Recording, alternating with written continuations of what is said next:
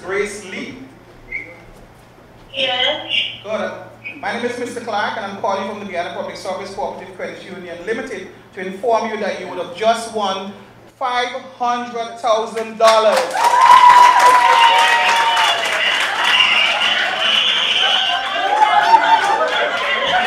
A scene from the drawing ceremony held at the Guyana Public Service Credit Union's GPSU head office on Hatfield Street, Georgetown.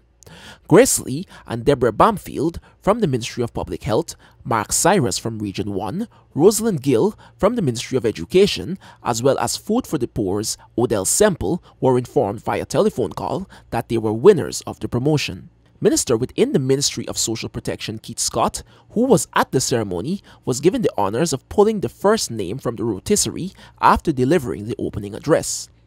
Minister Scott spoke briefly about the commitment of the GPSU to serving its approximately 165,000 members.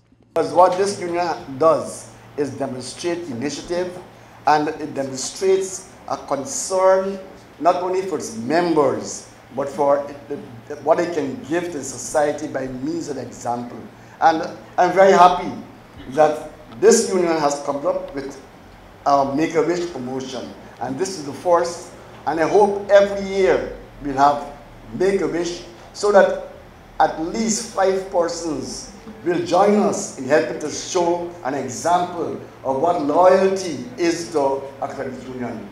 The promotion was launched as a way of giving back to the loyal members of GPSU, whose total contributions resulted in propelling the union to a total earning of $300 million over the recently documented period.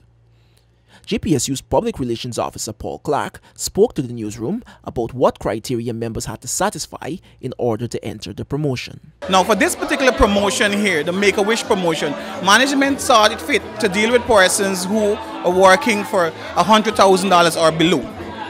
We would have came under fire for one of better, for one of better words rather.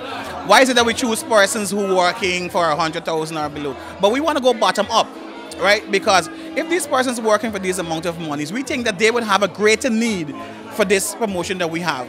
And I must say that we had almost 600,000 600, persons applying for this promotion. And the criteria are, are as follows. Now, the member must be with the credit union for over five years, five years or about. Right? Must have at least had a loan within the last year or so.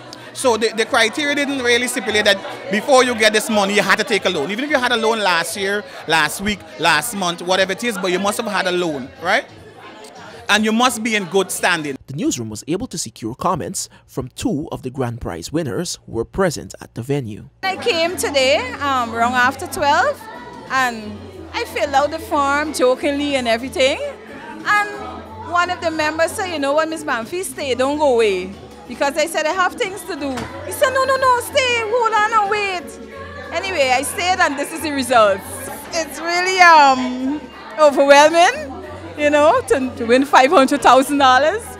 I mean, it might be nothing to persons, but it's something to me because I have things to do. I was telling my daughter this morning, I got, you know, look after her fees and, you know, God got to step in, right? So I give God a praise and thanks, you know. I come in, I hear that there's a promotion because as a member of the credit union, I heard there's a promotion and they told me the criteria. And so I was working on the 100,000, so I said, well, apply. So I applied, happy, very happy, excited because I'm doing some work right now in the house.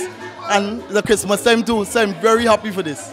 Minister Scott presented the winners with their checks as a crew of well-wishers looked on. Nigel Collymore, Newsroom.